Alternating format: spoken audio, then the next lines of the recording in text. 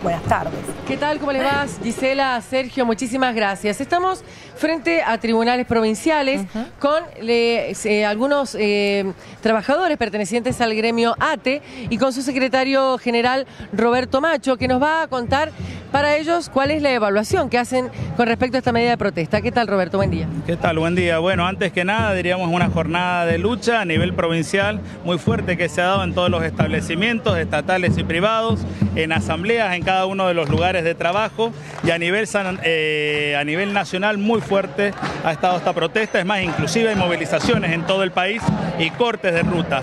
Por ende, hoy día, a partir de las 6 de la tarde, convocamos al kilómetro cero a protestar en contra de estas políticas de ajuste que se están llevando adelante, ¿no?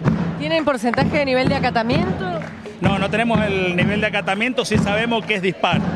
Pero fundamentalmente estamos aquí ahora congregados, diríamos, eh, en tribunales provinciales y no en casa de gobierno para repudiar el actual de la fiscal Gabriela Chávez, una fiscal que actúa por orden directa del gobernador de la provincia en contra de los trabajadores de la criminalización y persiguiendo a los dirigentes sociales y sindicales como se ha visto, más allá del daño material y moral que le ha hecho a todos eh, nuestros compañeros y a nuestra institución. Por ende, en el día de hoy, después de terminar este acto, entraremos a librarle una denuncia penal en contra, diríamos, de toda esta situación. Cortar el derecho de libertad sindical, meterse en la vida interna del sindicato, destruir y sacar documentación propia de nuestro sindicato sin que nada tenga que ver con lo que ella quería estar investigando. Macho, aprovechamos para preguntarle, y más, por supuesto, teniendo que ver con esta jornada de protesta, ¿cuáles son los sectores más resentidos con respecto al, paro, al acatamiento? Y transporte. Transporte es uno de los sectores, Ministerio de Transporte de la provincia, compañeros del Ministerio de Seguridad,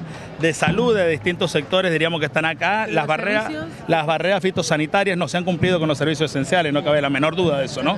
Sí, y de ahí en más es como vamos a estar construyendo un paro provincial en el marco del Frente de Unidad Estatal. ¿Tienen programado alguna fecha? Todavía no, pero sí estamos hablando de fin de este mes que viene. Bien. ¿Cómo continúan esta tarde? Esta tarde nos vamos a concentrar a partir de las 6 de la tarde en el kilómetro cero para marchar a Casa de Gobierno, diríamos, y terminar con un, con un acto, ¿no? Muchísimas gracias, muy amable. Gracias a ustedes. Roberto Macho, secretario general de ATE. Entonces, respecto eh, a esta protesta, como ustedes escuchaban, un acatamiento de disparo en nuestra provincia con alto acatamiento a nivel nacional, según la palabra de Roberto Macho de ATE. Esta tarde, 18.30, reiteramos, es la movilización a la cual están convocando todos los gremios provinciales nucleados en la CTA a nivel, a nivel nacional. Que tengan buena jornada, hasta cualquier momento.